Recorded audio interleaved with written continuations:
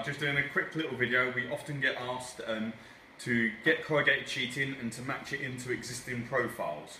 Now what a lot of people are not aware is corrugated is a very old product and there are thousands of profiles.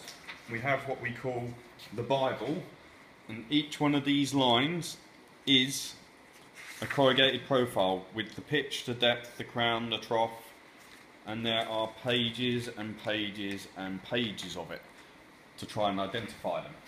If you're not understanding what the pitch, crown, depth and trough is, at the front of the Bible we do tell you what the different items are.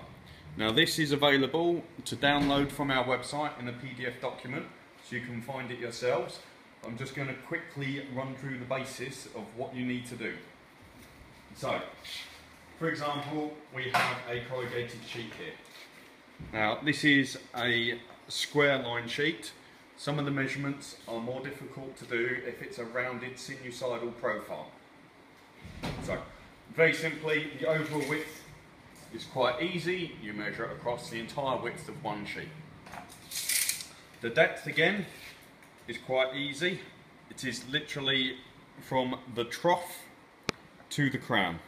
And just so you're aware, this is the trough, this is the crown. Then refers to what's called the pitch of a sheet. Now the pitch is technically from the middle of one crown to the middle of another crown. Very hard to measure. If you've got a square line sheet, the easiest way to measure it is actually to go to one edge, so the left edge of a crown, to the next left edge of the crown, because there's a much easier to define point.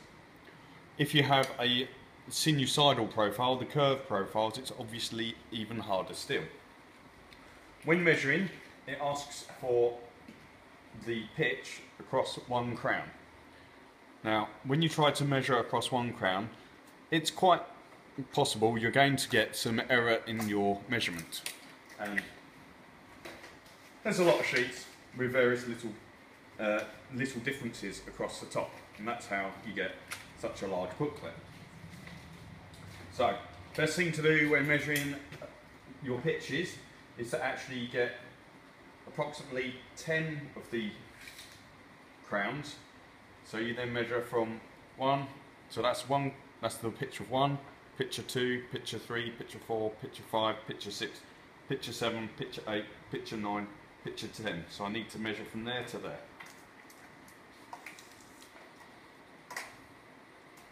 So just check that again. That's one pitch, two pitch, three pitch, four pitch, five pitch, six pitch, seven pitch, eight pitch, nine pitch, 10 pitches. You then take this measurement and divide it by 10.